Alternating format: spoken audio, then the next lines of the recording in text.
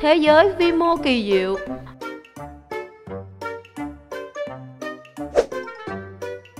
Chào Cú Cậu vào nhà mình chơi đi. Chào Ti. Tớ có câu đố này thú vị lắm. Đố cậu nếu tớ chia đôi quả táo Sau đó lại chia đôi phần còn lại Cứ chia như vậy đến khi không thể chia nhỏ được nữa Thì ta sẽ thu được gì nè? Uhm, thì sẽ thu được phần nhỏ nhất của quả táo. Đơn giản như vậy mà cậu cũng đố mình. Cú biết không, khi chia quả táo đến kích thước nhỏ nhất Thì chúng ta sẽ thu được những nguyên tử đó. Nguyên tử? Có một thế giới vô cùng nhỏ bé mà chúng ta không thể nhìn thấy bằng mắt thường. Đó chính là thế giới nguyên tử.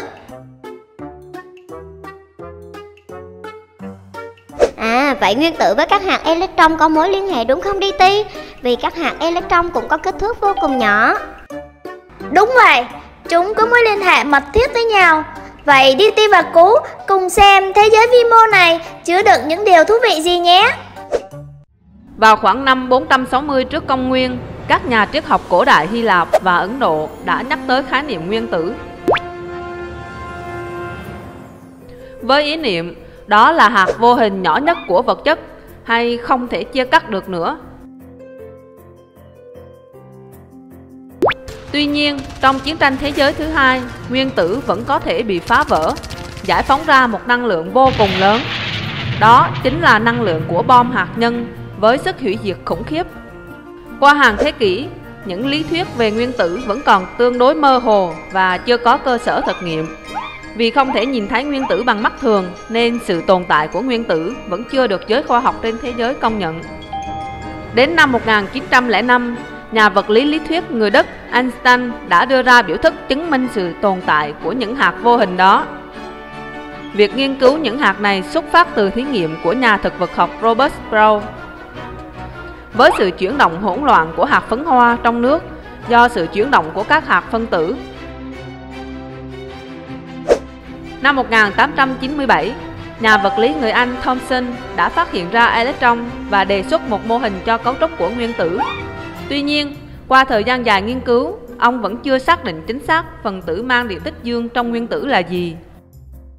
Năm 1911, Rutherford nghiên cứu và đưa ra mô hình cấu trúc của nguyên tử hiện đại với hạt nhân mang điện tích dương ở trung tâm và electron mang điện tích âm chuyển động xung quanh hạt nhân. Nguyên tử là những hạt vô cùng nhỏ bé với kích thước chỉ khoảng 10 mũ âm 8 cm.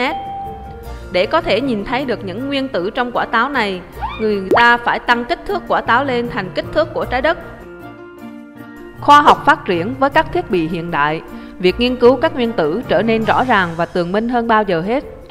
Những hạt vô hình có tính chất cụ thể, tùy theo sự sắp xếp của ba loại hạt hạ nguyên tử cấu tạo nên nguyên tử, đó là proton, neutron và electron. Proton mang điện tích dương, neutron có cùng kích cỡ với proton nhưng không mang điện, Electron là hạt có kích thước nhỏ, mang điện tích âm và hầu như không có khối lượng. Nguyên tử gồm hạt nhân và lớp vỏ electron.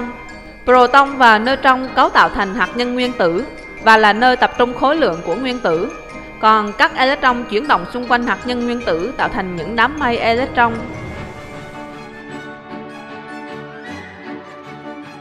Nguyên tử luôn trung hòa về điện, do đó số hạt proton và số hạt electron bằng nhau Số proton của mỗi nguyên tử là không đổi, còn các electron linh động có thể dễ dàng chuyển từ nguyên tử này sang nguyên tử khác khi có điều kiện thuận lợi. Khi mất electron, nguyên tử sẽ dư điện tích dương và trở thành ion dương.